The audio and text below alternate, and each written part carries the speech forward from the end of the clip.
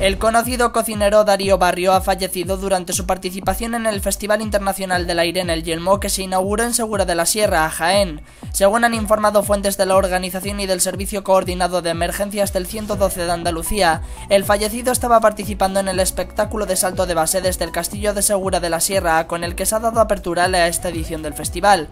Por el momento se desconocen las causas que han provocado el fallecimiento de Darío Barrio, quien participaba en el espectáculo de salto base junto a Armando del Rey, Santi Corella y Dani Román.